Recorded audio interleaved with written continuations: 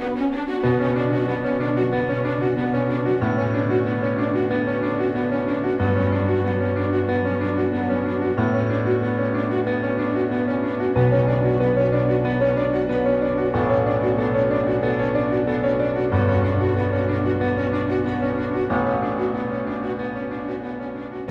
I mean, we're really way out in the middle of nowhere, and yet world famous Tabasco sauce comes from Avery Island. It's all made here. There's no other Tabasco factory. So if you're in, you know, the far interior of China and and uh, you see a bottle of Tabasco in Chinese, uh, it came from here and was labeled in Chinese here.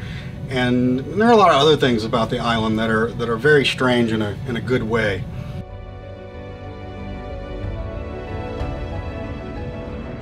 There's a lot of things that are that are here on Avery Island. So we have obviously that we're in the midst of all the the Cajun culture, which is really about getting together and about good food, and that's perfect for, for us in Tabasco. And then it's also an incredibly diverse uh, ecosystem down here where uh, the marshes are teeming with wildlife and, and, and resources, and it's just a, a fantastic place for both of those things to, to mix together.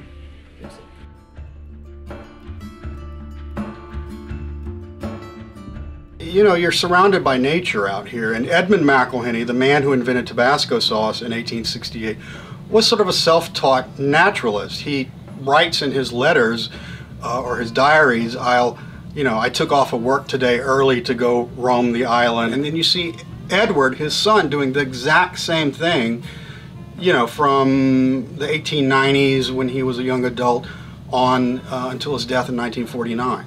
There is a very long-term thread uh, of, of interest in, in nature and conservation in the McIlhenny family and even their Avery cousins.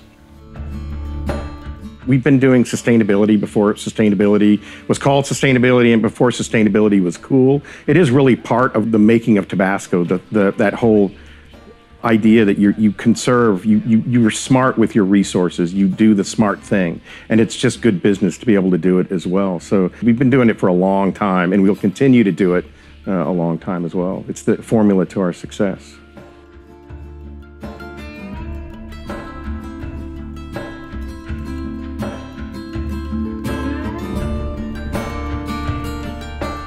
This was planted last year. Uh, what it does is make it makes a wall and then traps the sediment behind it, and then your other grasses will start taking over. Um, you plant it probably within 18 to two foot of water. Uh, you want current going back and forth. Uh, you just find a mud flat and basically just plant the grass and let it do its work.